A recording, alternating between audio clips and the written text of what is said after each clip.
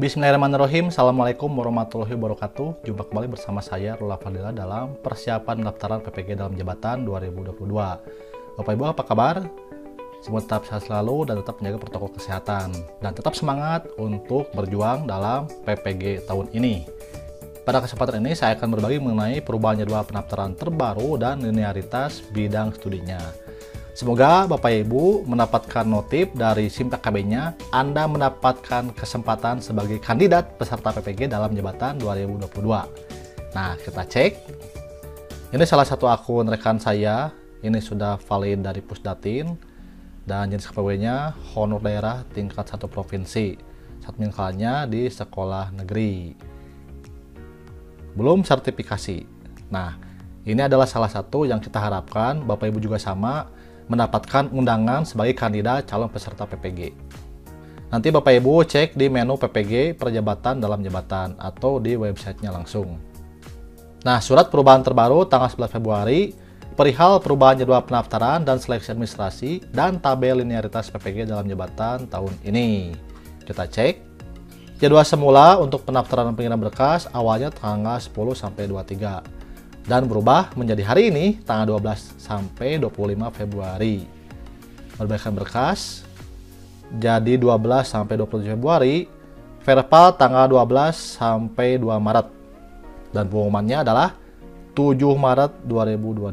Nanti kita cek langsung di laman ppg.kemdikbud.go.id atau dari SMPKB Bapak Ibu. Ini saya simulasikan, nanti Bapak Ibu bisa download di deskripsi ya.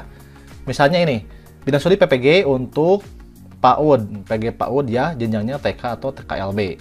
Kodenya 020. Nah, ini dia ijazahnya.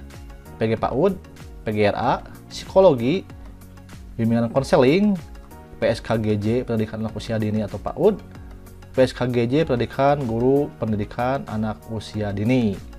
Nah, ini salah satu contoh linearitasnya. Kemudian untuk PGSD SD atau SDLB 027 bisa dari PGSD, PGMI, Pendidikan Pancasila Kewarganegaraan, Matematika, Bahasa Indonesia, Bahasa dan Sastra Indonesia, Pendidikan Bahasa Indonesia dan Daerah, sampai PSKGJ Pendidikan Guru Sekolah Dasar. Nah, artinya ini betul-betul memberikan banyak peluang untuk beberapa bidang studi yang akan dilinearkan dengan bidang studi PPG-nya.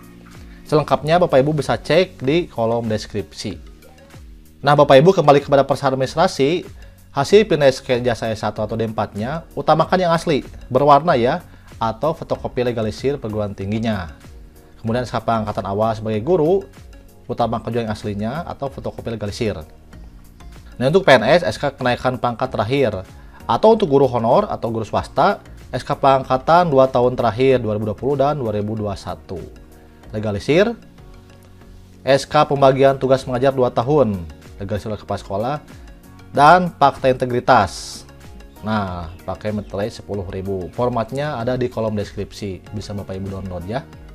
Berikut tips pengelolaan berkas persyaratannya. Bapak Ibu kumpulkan file scan dan kelompokkan ke dalam folder-folder ya. Berikan nama sesuai dengan format berkasnya. Kemudian untuk ijazah wajib dan skip. Atau posisinya lebar Nah, untuk gabungan file PDF kapasitasnya maksimal 1 MB. Jika terlalu besar, gunakan aplikasi kompres PDF. Ini sudah saya sampaikan sebelumnya. Gunakan Bapak Ibu Clever PDF ini sangat mudah sekali dan jika hasilnya terlalu besar bisa di custom. Ini salah satu aplikasi yang menarik untuk saya. Bisa di custom supaya hasilnya sesuai dengan yang kita inginkan.